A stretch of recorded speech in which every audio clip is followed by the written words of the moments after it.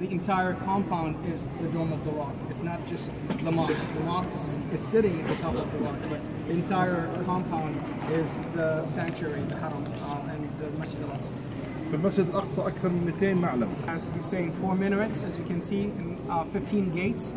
Five of those gates don't um, get open, but the rest are for uh, use. And basically, as part of the deal that was um, set in place, I think after um, with um, the Hashemite kingdom and Jordan being the custodian of this um, holy sanctuary, cameras were put into place um, to somehow monitor to make sure that, of course, it's a safe area and that it doesn't get transgressed by um, the Zionist entity. But um, of course, um, as you know, since they're controlling that city right now, they always try to remove the cameras. And if they put the cameras, it's always for not the purpose of keeping the place secure, but to, to definitely uh, monitor and watch the people, the faithful coming to pray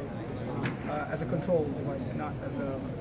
uh, purpose, the purpose that was intended for campaign, what they're trying to do is to try and, of course, as much control who enters and who prays by setting either limits and conditions, uh, but also he's saying two types of controls. Either control, a spatial control, by saying, okay, you guys actually don't need this whole space, so we're taking the rest of the space, or a time and a periodic kind of a control by saying, oh, you only pray during these times, so these times are for you, and the rest of the time is for us. So all types of attempts to kind of, of course, control um, the um, entry and uh, for Muslims and the faithful to be uh, in the uh, holy sanctuary of Masjid al-Aqsa. Be controlled by the Zionist entity and, and its occupation. Um, this is the western wall of Ha'it al-Gharbi. The western wall right here, or the Wailing Wall as you know, is what they're claiming is their uh, most religious site and therefore this is where they're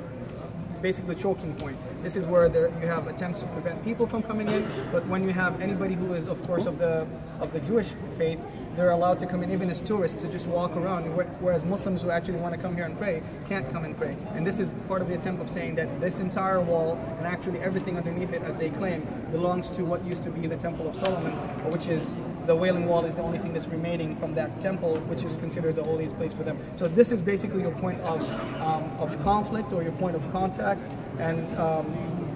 most of the action is happening there because their checkpoints are over there and this is where they're, like I said, choking and preventing people who are Muslims or faithful to come in to pray. Whereas their people, it's welcome for them, open space, come in, even as just tourists or just to walk around, which adds insult to the wound because you can't pray in your own religious site, whereas other people who don't have anything to do with it keep on coming and, um, and using the place. And that's part of the attempt, of course, fully controlling um, the uh, holy sanctuary.